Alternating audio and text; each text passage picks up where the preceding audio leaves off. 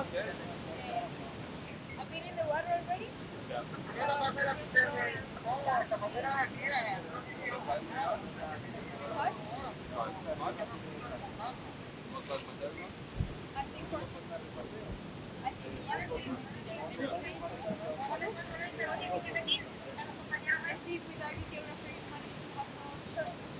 Let's see to maybe better than with you. Last time she was filming me, she got like one shot of me getting washed. No, one shot of me sailing and many shots of me getting washed. I've been filming for two hours and I say like, well, I want to have something better. I was sailing. It was fun. So guys, we're here in Las Americas. We have the Calima wind, which is kind of unusual, uh, but decent wave sailing conditions here.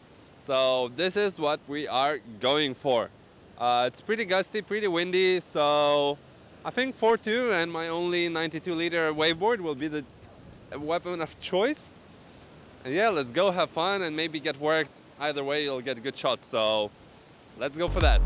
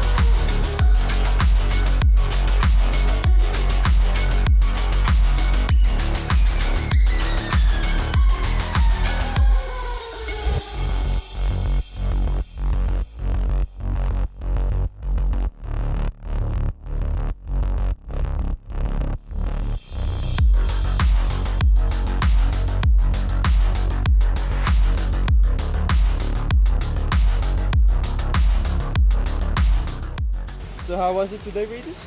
Yeah, some uh, fun waves, uh, some rockstar experiences, as you guys saw.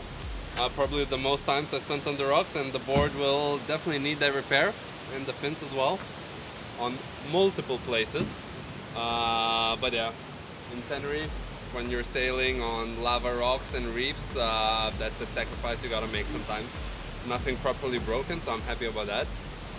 And yeah, I had fun, so we'll see we'll see how it looks on camera. Maybe it looks like i've been uh, just sailing in flat water all the time. I don't know